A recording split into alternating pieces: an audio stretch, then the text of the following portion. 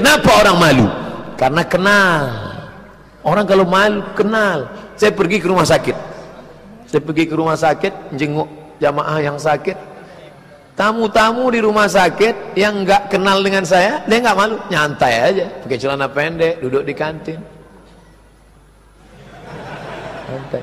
Tapi ada satu jamaah yang kenal begitu saya lewat langsung ditariknya dia pakai celana pendek pagi ahad mungkin habis lari-lari-lari dia tarik celana pendeknya mau nutup lutut. Dia nggak bisa celananya pendek. Gitu dia ngeliat saya langsung.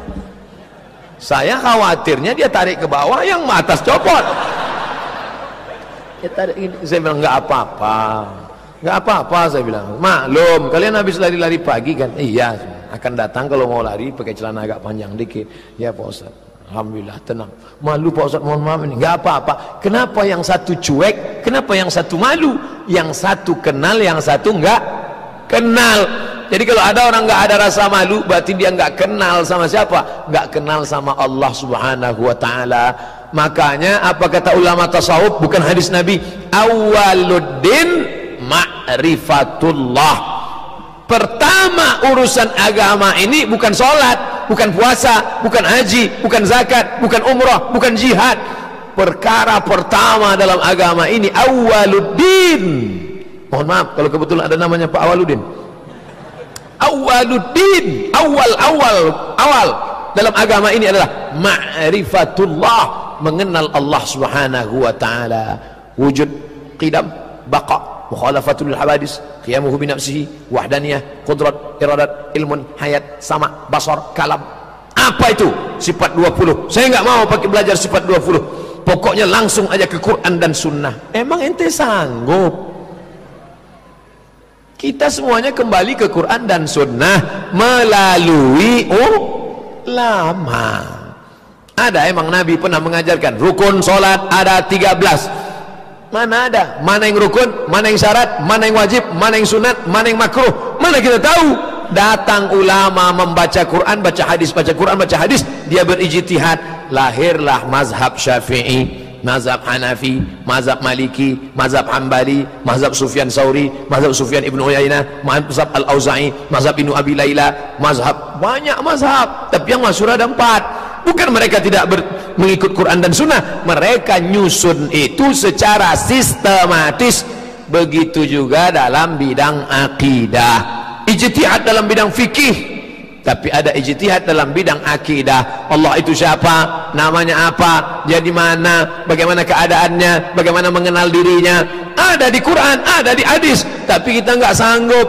Gimana kita mau buka Quran? Baca Quran aja belepotan asbabun nuzul nggak ngerti kosa katanya bagaimana ayat mutasyabihat bagaimana ayat muhkamat bagaimana asbabun nuzul bagaimana nasih mansuh. Ulumul Quran nggak ngerti. Datang ulama dia susun dari Quran dan sunnah. Itulah dia mengenal Allah melalui sifat 20 wujud qidam baqa mukhalafatul awadis qiyamuhu bain nafsihi wahdaniyah qudrat iradat ilmu ayat sama basar kalam. Nah buah dari mengenal Allah itu datanglah malu malu mata sudah dikasih cuman tidur aja. Kelopak mata dikasih Allah eh lebih banyak dipakai merem. Daripada terbuka. Nabi dulu lebih banyak terbuka. Kita lebih banyak. Tapi katanya mau ikut Nabi. Nabi tidurnya dikit kita dikit-dikit tidur. Dikit-dikit tidur.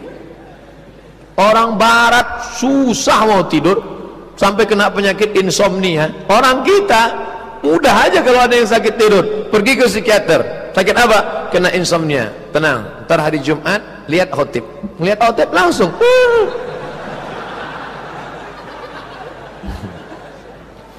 Malu. Malu. Sudah berapa malam lagi? Malam Sabtu ntar.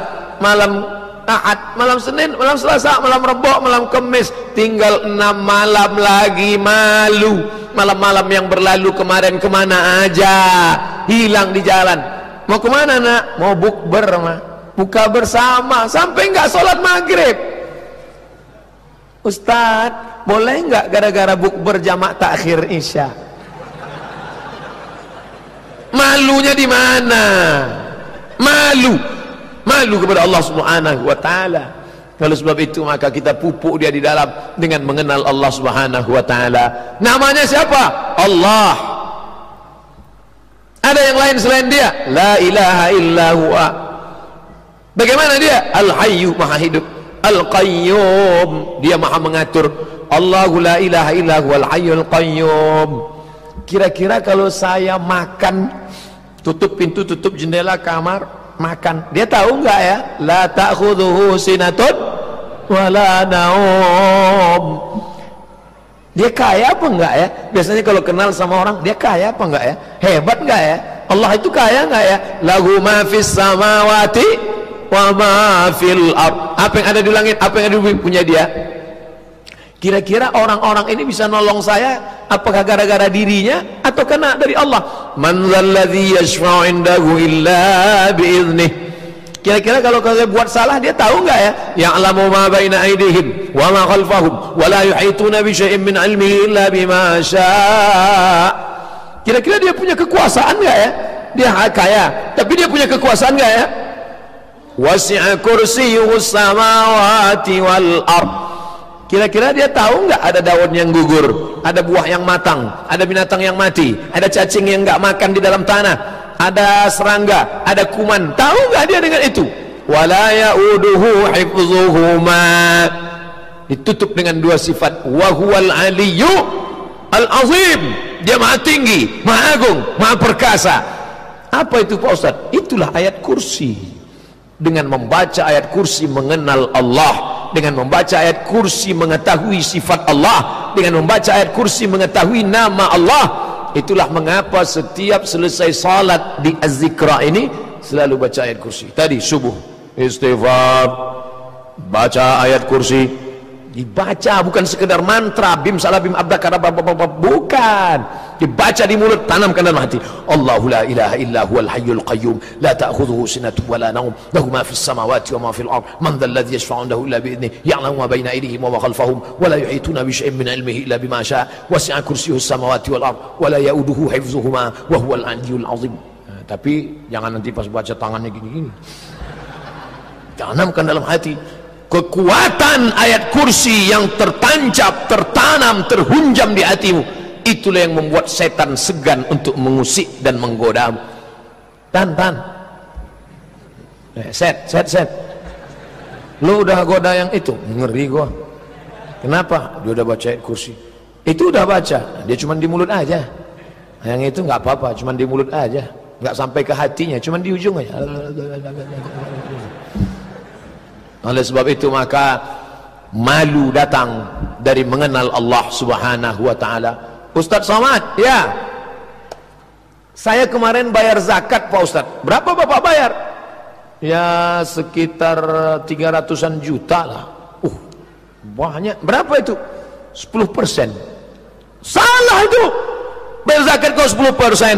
Zakat itu Pak dua setengah persen. Bukan 10 persen. Saya kasih tahu begitu Zakat apa? Zakat profesi.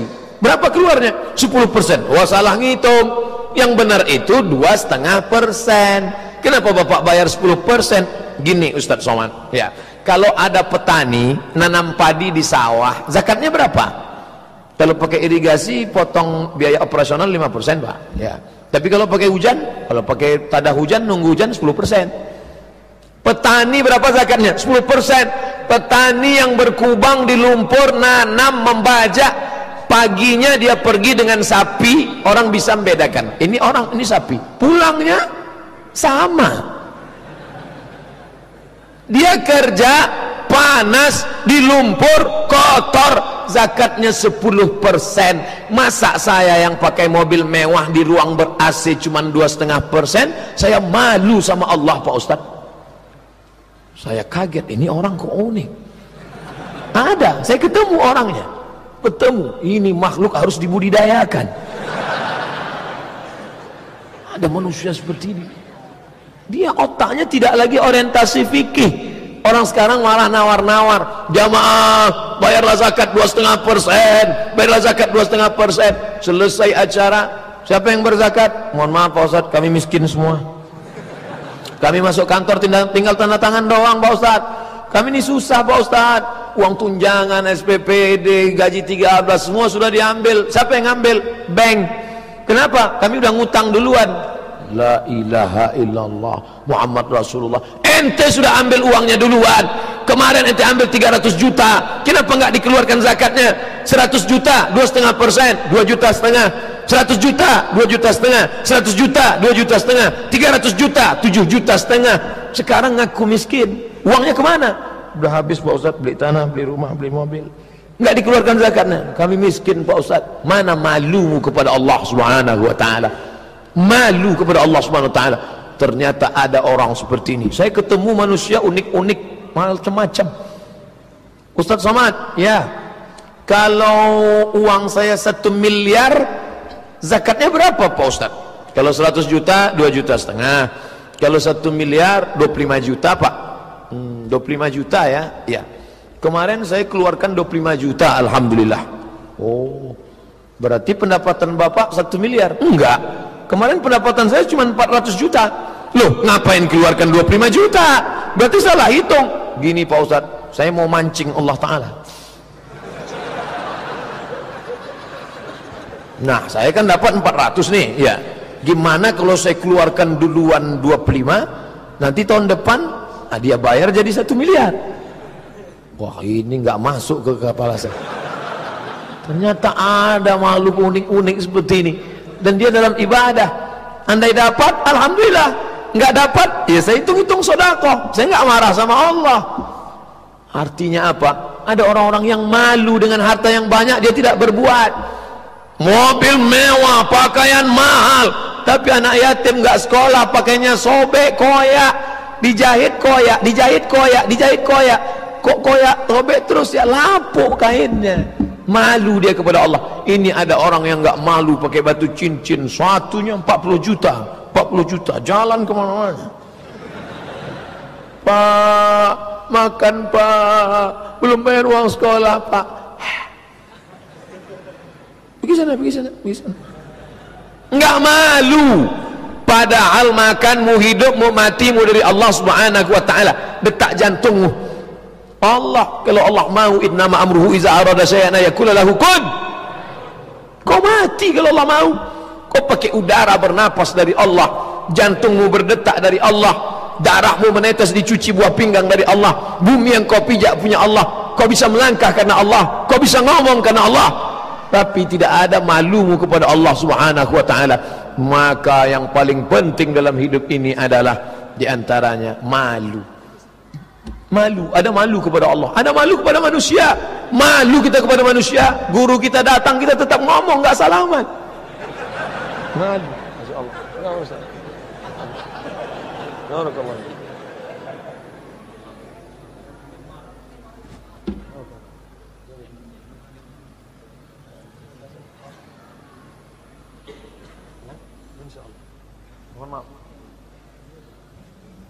ada malu kepada Allah SWT ada malu kepada manusia. Ini petantang petenteng. Malu.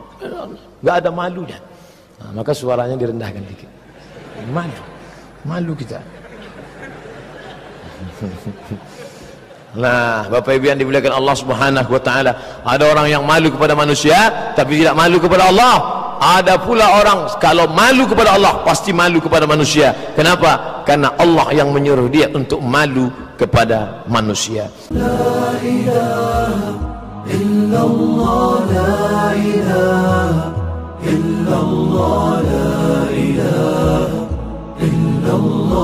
Ma lana rabbun siwa